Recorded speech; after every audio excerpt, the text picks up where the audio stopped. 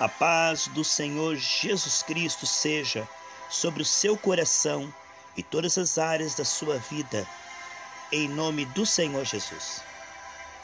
Glória a Deus Todo-Poderoso, em o nome santo e soberano do Senhor Jesus Cristo.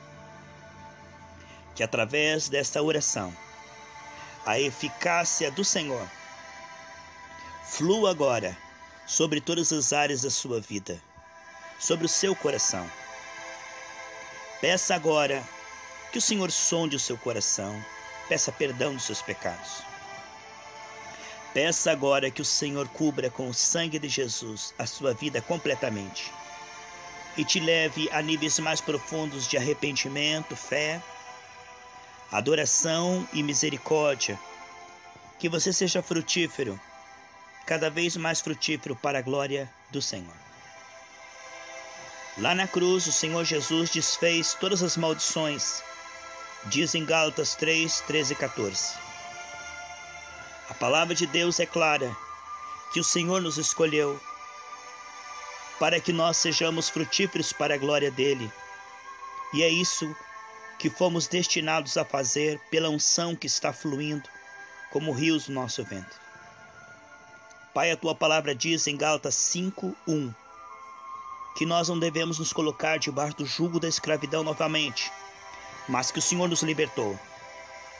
Por isso, Senhor, debaixo deste sangue, nós não nos colocaremos debaixo do jugo da doença, pois lá na cruz o Senhor levou toda a enfermidade.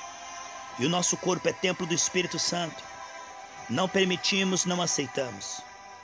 Em nome de Jesus, expulsamos todas as enfermidades transferimos agora sobre este corpo, Senhor, a eficácia que o Senhor conquistou para nós na cruz do Calvário.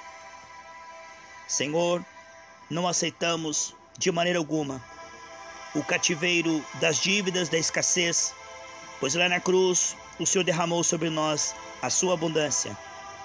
Eu rejeito agora toda escassez, toda falta, porque o Senhor diz em 2 Coríntios 9:8 que nós seríamos sempre de sobra em tudo para a generosidade e boas obras. E eu declaro, Senhor, sobre as nossas vidas agora, a abundância, eu transfiro agora, Senhor, a eficácia da cruz do Calvário que o Senhor venceu por nós, a escassez, e profetizo multiplicação e sobra financeira em nome de Jesus. Senhor, lá na cruz, o Senhor quebrou todo o cativeiro e deu dons aos homens.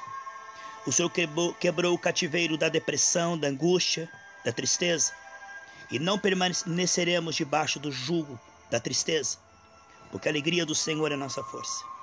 E eu transfiro agora, Senhor, a eficácia que o Senhor conquistou na cruz do Calvário, fruto do Espírito Santo, sobre as nossas vidas, a alegria, a paz, o amor, e sejamos cheios do Espírito Santo, cheios da tua sabedoria, cheios da sua instrução, cheios da sua força para a tua glória.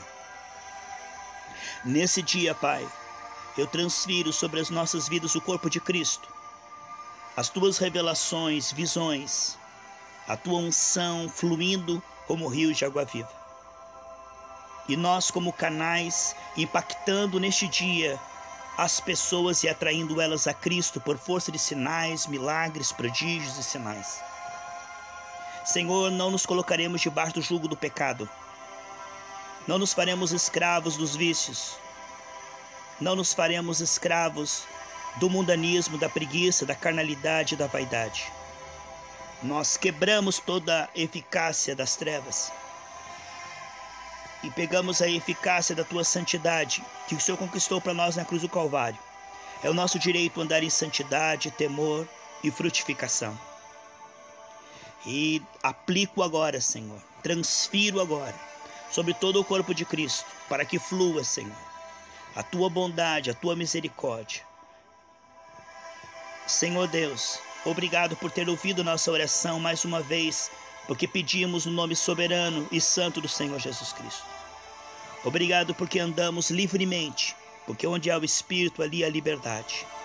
Nesse dia andamos em liberdade e nossa vida flui a tua santidade. o fruto do Espírito Santo.